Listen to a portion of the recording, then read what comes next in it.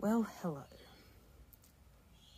As you can see, there are some paints on a previously scraped canvas, and I'm just going to have some fun. Thanks for joining. I hope you like it.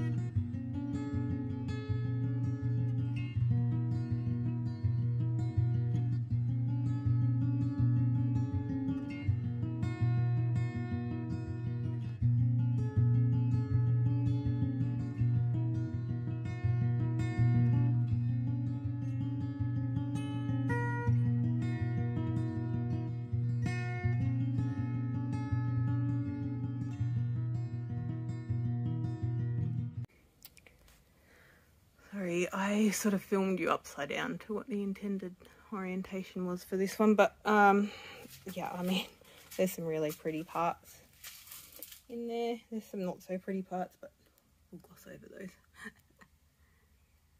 really nice. I think it's a bit of a sort of coral reef vibe. It's a bit hard to get a nice shot for you in these lights. It's night time here now, so uh, yeah. I'll show you what it looks like when it dries.